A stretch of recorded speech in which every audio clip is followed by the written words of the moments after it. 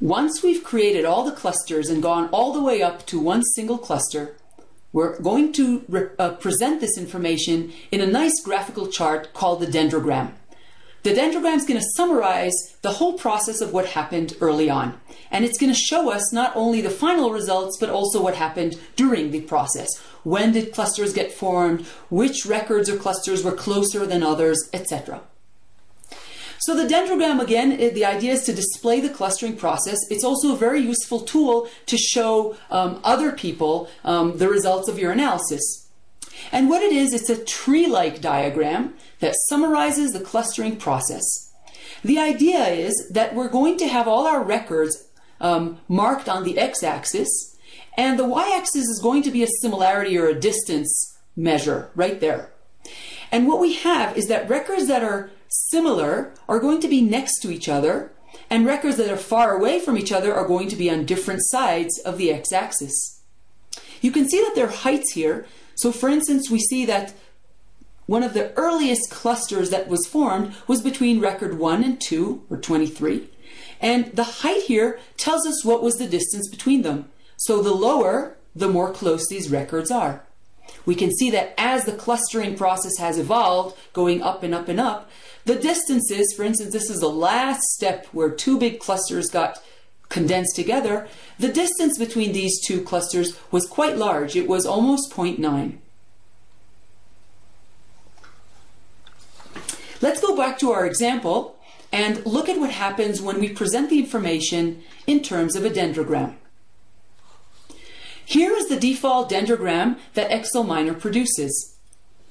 We can see that we have the university labels, the numbers, on the x-axis and the distance on the y-axis. Here we used Euclidean distance. We can see that some universities got clustered early on, whereas the last, last step was a single university that tagged along, along and helped join one big cluster. It's quite difficult to see which university this was, and of course it's much more interesting to see which universities they are so that we can keep using our domain knowledge to think why that's happening. I created a little dictionary on the left, so you see that number three is actually Carnegie Mellon University. To make things a little easier, and although when a very large data set exists, it doesn't make any sense to put real labels on the x-axis, if you have a small data set, you can use something called a, a free XY Chart Labeler. It's a small add-in to Excel that you can download, and we have a link on our website. And what I did now is I simply replaced the numbers that we had on the x-axis with the names of the universities. Now it's a little easier to see which are the universities that got clustered early. For example, we can see that Northwestern and University of Pennsylvania got clustered first. That was the first step in our clustering algorithm. The chart that we just looked at a minute ago, where things were tagging along, was using single linkage or nearest neighbor. Here is a clustering result. Everything was the same, Euclidean distance, the same data, except that we changed the distance metric that's used between clusters. We're using here farthest neighbor or complete linkage. And you can see that the result, result, resulting tree looks quite different. I'm going to flip back. Take a look at the shape here. It looks like there was one cluster going on at the beginning, more and more, and then universities kept tagging along. This is called chain-like structure. And single linkage is known for creating these chain-like structures. In contrast, when we go to farthest neighbor or complete linkage, we get more of these compact shapes. Here's a bunch, here's another bunch, here's another bunch. These are usually called ball shapes or ball-like shapes. Now, how do we know which tree is a good tree? As I said, there is no model here. It's very difficult. You can't measure performance. So the question that you need to ask is, is this dendrogram giving me any insights? Are the results here showing me anything interesting that I didn't know that I can do something with. Just look at this graph for a minute and see if you find anything interesting that is showing up in this chart which we might have not thought of before.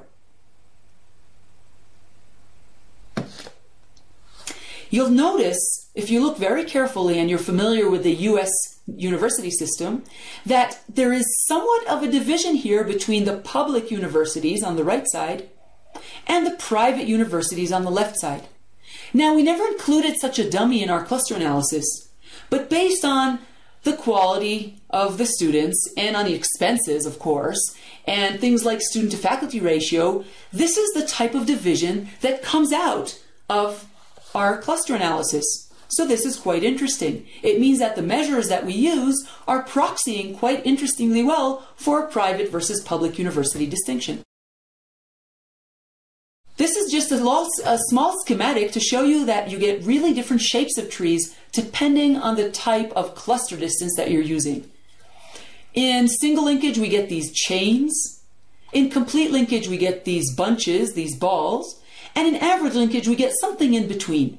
That's why it's useful to try different types of distances and see which one gives you interesting insights. It was also interesting to note, by the way, that Carnegie Mellon was quite different from the rest of the universities. Remember, it was the last one that got clustered um, when we used single linkage. Now, we don't really finalize the cluster analysis with one big family. What we're going to try and do is find the natural number of clusters that we should stop at. Should we have stopped after the first stage, after we end up with four clusters, with 10 clusters? And this is something nice that hierarchical clustering enables us to do. The idea here is to take our dendrogram and to put a cut through it, to actually slice it, so that we get a bunch of clusters. Now we have to think about where we want to cut this, because if we cut it at the top here, we get two clusters, one and two. If I cut it down here, I'll get four clusters, one, two, three, and four. So the question is where to cut it. And the answer is if you remember the very beginning when we talked about a star luminosity and, um, and, and, the, and the scatter plot, we were talking about looking for gaps. And the same idea is going to happen here. We're going to look for a place where the gaps are going to be the largest. And that's going to be a good place to cut the dendrogram. Once you cut the dendrogram, we're going to have clusters, and we'll be able to compare the different clusters by looking at all kinds of summary statistics. Here's an example of two clusters, and here's an example that will create four clusters. The cut is done horizontally. Spotfire has a very nice and interactive hierarchical clustering um, option where you can see on the left here we get the tree. This time it's actually a vertical tree and it shows us a heat map for each and every one of our records. So each row here is a university, and each column is one of the measurements that we had. It's showing us not only the tree, but we can easily see why, for instance, these universities were grouped together. We can see that they're kind of similar in terms of their SAT and top 10, kind of similar in terms of their acceptance ratio and student to faculty ratio, and also in terms of the other variables. So this not only gives us the results, but also shows us the relationship to the original measurements. You can interactively pull the cutting knife here. Wherever you pull it, it will create a new variable here that will give you the label that results, and the cluster label that results from the cut. So if you cut it here, all the records that belong to this cluster will have a certain label, and the cluster, the universities here will have a different cluster label.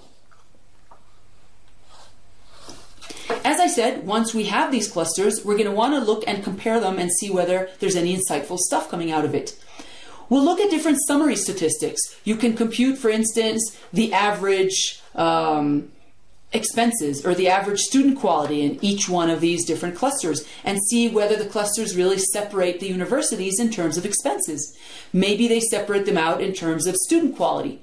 Maybe they separate them out in terms of something else. So by looking at summary statistics, we can get a feel of what is different about different clusters. You also see that we can use charts. I'm using here something called a profile plot. And what it does is it basically shows the average um, variable for each cluster separately. The red is one cluster, the blue is another cluster, the green is another cluster, and so on. The value here is the average SAT, the value here is the average top 10, etc. You can see the labels right down here.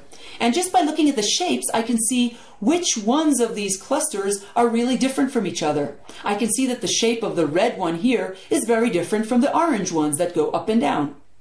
I can also see how many universities end up being in each one of the clusters. This is a single university. maybe it's still that same Carnegie Mellon University right there. Whereas other clusters have more universities in them.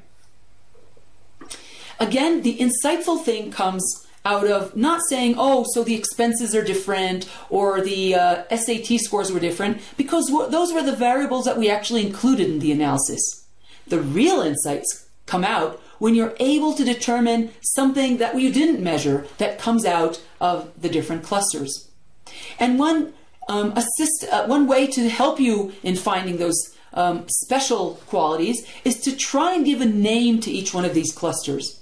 If you can name each one of the clusters, that usually means that there is something insightful that's going on. For example, if you remember the Claritas segmentation that we talked about a while ago, that's exactly what happened there.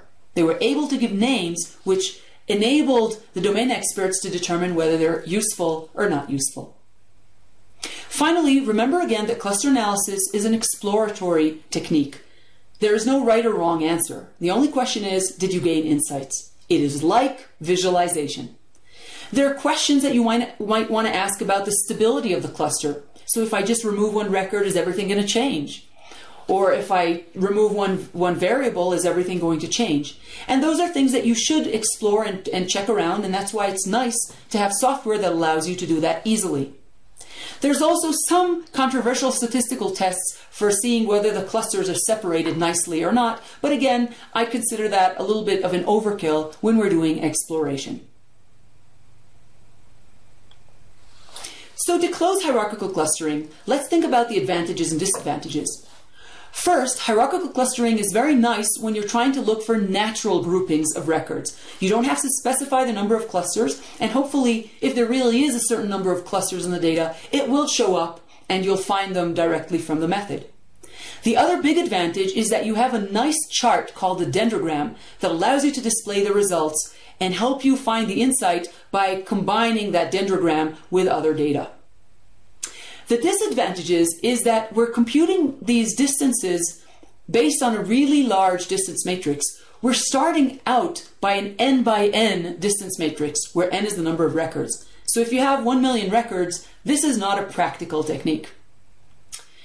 The other thing is that if you think about the algorithm, everything went step by step, step by step. We're only doing it once. We're never trying a different starting point. So if we did some kind of um, reallo- some allocation that wasn't really great early on, it carries on later on and we'll never get a different tree. There are also some stability issues with the hierarchical clustering, and that's why I mentioned it's a good idea to try different things and different starting points and play around with the initial conditions. Finally, the types of distances that we're using, such as Euclidean distance, are very sensitive to outliers. If you have one extreme university out there that's extremely expensive, for instance, then that's going to throw off all the distance matrix computations. And that's why it's also useful to try and use different distances and perhaps some that are more or less sensitive to outliers. With this, we're closing hierarchical clustering and keep all this in mind when we talk about non-hierarchical clustering. That's our next session.